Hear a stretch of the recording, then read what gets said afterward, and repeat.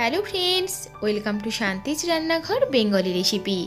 আজ আমি আপনাদের সঙ্গে শেয়ার করব সম্পূর্ণ নিরামিষ পনিরের একটি রেসিপি। যা স্বাদে মাছ মাংসকেও হার মানিয়ে দেবে। আশা করি আজকের এই রেসিপিটি আপনাদের ভালো লাগবে। ভালো লাগলে অবশ্যই ভিডিওটিকে লাইক করবেন এবং শেয়ার করবেন এবং প্লিজ আমার চ্যানেলকে সাবস্ক্রাইব করবেন। ও পাশের বেল আইকনটিতে অবশ্যই ক্লিক করবেন, ফলে আমার আপলোড করা কোনো ভিডিওই মিস করবেন না। বানানোর জন্য অবশ্যই লাগছে পনির। এই পনিরটি আমি হাতে বানিয়েছি। আর এটি হলো কাজু বাদাম এবং চিনে বাদামের পেস্ট। আর নারকেলের দুধ। এছাড়া লাগছে কাঁচা লঙ্কা, ঘি, নুন, মিষ্টি। সবার প্রথমে কড়াইতে দিয়ে দিয়েছি ওয়ান টেবিল স্পুন সাদা তেল। আর তার মধ্যে দিয়ে দিলাম টুকরো করে কেটে রাখা পনির। পনিরকে খুব সামান্যই ভেজে নেব। বেশি ভাজতে লাগবে না।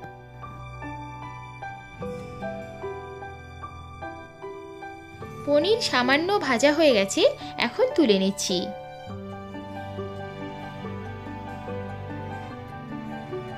এখন ওই কড়াইতেই দিয়ে দিলাম আরও ওয়ান টেবিল স্পুন সাদা তেল, আর ফোড়ন হিসেবে দিয়েছি ছোট এলাচ।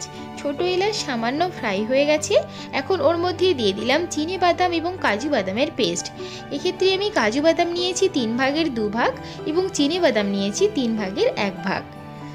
এখন মিডিয়াম টু লো ফ্লেমে কাজু বাদাম এবং চিনে বাদামের পেস্টকে তিন থেকে চার মিনিটের জন্য ভালোভাবে কষিয়ে নেব।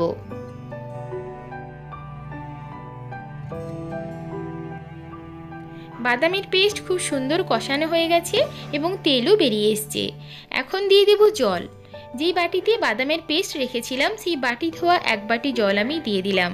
এখন জলের সাথে সমস্ত বাদামের পেস্টকে খুব ভালো করে মিশিয়ে নিচ্ছি।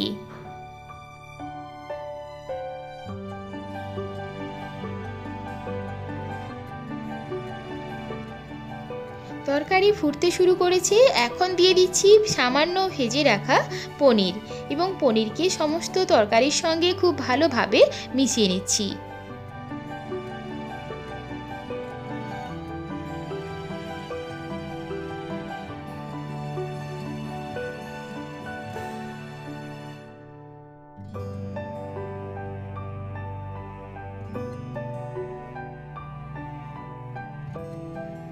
এখন দিয়ে দিলাম দুটো চেরা কাঁচা লঙ্কা। এক্ষেত্রে ঝালটা অবশ্যই আপনাদের স্বাদ অনুযায়ী। তবে পনিরের এই রেসিপিটি একটু মিষ্টি মিষ্টি হলেই ভালো লাগে। তাই ঝালটা একটু বুঝেই দেওয়া ভালো। আর দিয়ে দিচ্ছি পরিমাণ মতো লবণ। লবণ এবং লঙ্কাকে সমস্ত তরকারির সঙ্গে খুব ভালোভাবে মিশিয়ে দিচ্ছি। গ্যাসের ফ্লেমকে মিডিয়াম টু লোতে রাখব এবং ঢাকা দিয়ে দেব ও পাঁচ মিনিট ফুটতে দেব।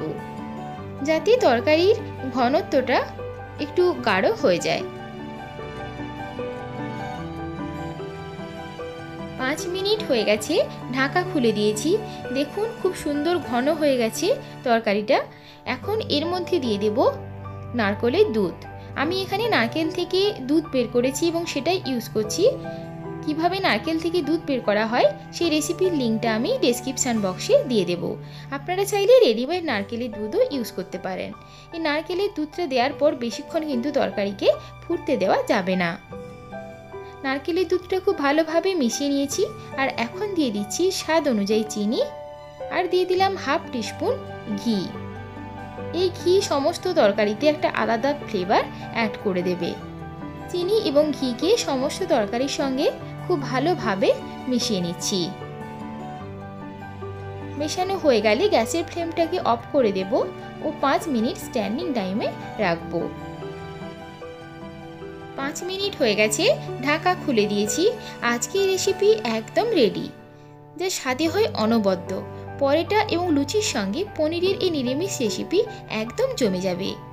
আশা করি আজকের ভিডিওটি আপনাদের ভালো লাগবে। আজকের মতো বিদায়। সবাই ভালো থাকবেন সুস্থ থাকবেন।